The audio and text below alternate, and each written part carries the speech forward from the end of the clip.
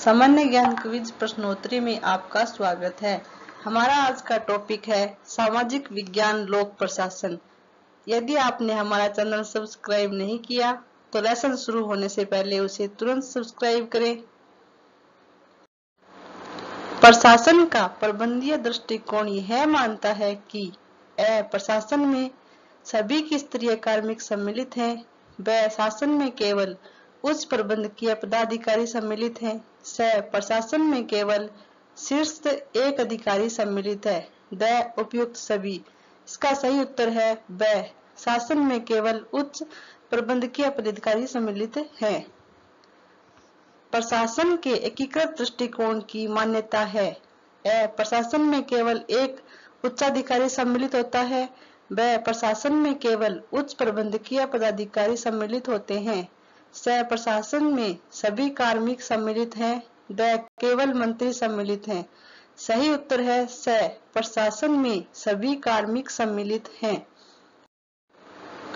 प्रश्न नंबर पाँच, लोक प्रशासन में समावेश है।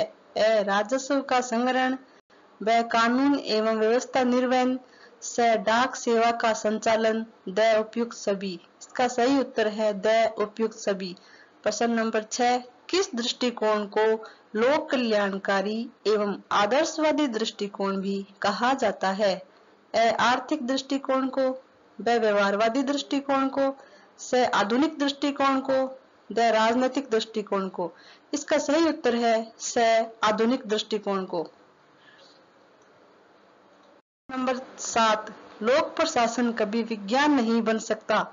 यह विचार किस विद्वान का है? ए विलोबी ब फाइनर से साइमन द रिंज सही उत्तर है ब फाइनर प्रश्न नंबर आठ, लोक प्रशासन अभी विज्ञान नहीं है, किंतु विज्ञान बन जाएगा।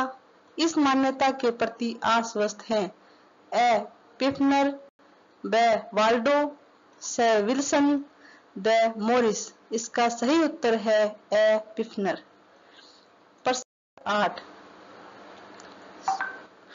लोक प्रशासन को कला मानने वाले विद्वान हैं। ए विलोबी व आर्डवेटेड, से उपयुक्त दोनों, द उपयुक्त में से कोई नहीं। इसका सही उत्तर है से उपयुक्त दोनों। प्रश्न नंबर दस, पोस्ट कोड में ओ का क्रियात्मक अर्थ है। ए, एकता व संगठन, से संगठन करना, द उपयुक्त सभी। इसका सही उत्तर है स, संगठित करना। प्रश्न नंबर 11 पोस्ट कोरम में को सीओ का क्रियात्मक अर्थ है। ए, कमांडर व नियंत्रण, स, समन्वय, द, समन्वय करना। इसका सही उत्तर है द, समन्वय करना। प्रश्न नंबर 12 पोस्ट कोरम में बी का क्रियात्मक अर्थ है। ए, बजट व बोस, स, नियंत्रण द बजट बनाना। इसका सही उत्तर है द बजट बनाना। प्रश्न नंबर तेरह, पोस्ट कोरम में आर का क्रियात्मक अर्थ है ए रिपोर्ट व रिपोर्ट देना, स रिपोर्टर, द पुनः करना। इसका सही उत्तर है ब रिपोर्ट देना। प्रश्न नंबर चौदह, पोस्ट कोरम में एस का क्रियात्मक अर्थ है ए कार्मिकों की व्यवस्था करना व कार्मिकों को की व्यवस्था करना, सह सेवा द कर्मचारी। इसका सही उत्तर है ए कार्मिकों की व्यवस्था करना।